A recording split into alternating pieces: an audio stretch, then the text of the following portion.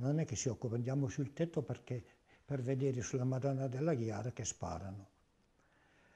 Per, dopo siamo andati sul tetto ma non si vedeva niente, siamo scesi, siamo andati là vicino alla torre e abbiamo trovato il campanaro, quello che suonava le campane.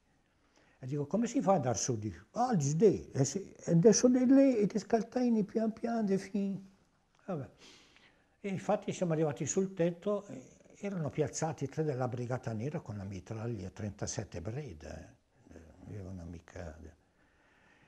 E, e lì ho, ho, gridato fermi tutti mani in alto e infatti si sono alzati quando hanno visto i mitro puntati hanno alzato le mani.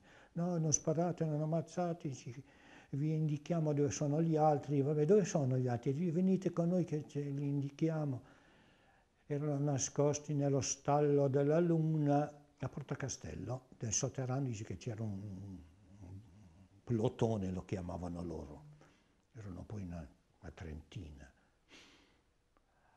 Ma poi quando siamo arrivati giù c'è stata la sorpresa, davanti ai gradini della Madonna della Ghiara c'era una jeep ferma con davanti sul cofano una stella bianca grande come il cofano. Dico, ma cosa c'è? E si usò uno, l'autista. Dice, il comandante vuole sapere chi sono questi tre che avete con le mani eh, alzate. E uno di dietro. Eh. Dico, sono i franchi tiratori che tiravano, che sparavano con la mitraglia sul tetto. Allora, siccome il maggiore era un maggiore ufficiale, non era non parlava l'italiano, si faceva tradurre dall'autista che parlava un po' l'italiano. Lui è sceso, quando è sceso, tirato giù il Thompson che aveva tra colla, l'arma automatica, i tre, i tre ha, una raffica di mitra me li ha messi tutti, che io ho dovuto togliere un pezzo di fegato dalla giubba perché ha sparato a bruciapelo. E dopo dico, beh, si sono arresi, sono prigionieri, dico perché ha fatto sto affare qua.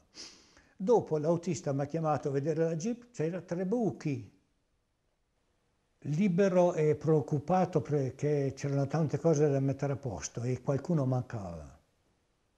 Non era una giornata di allegria. Fiorello per me e mi è morto al fianco, ma eravamo amici anche,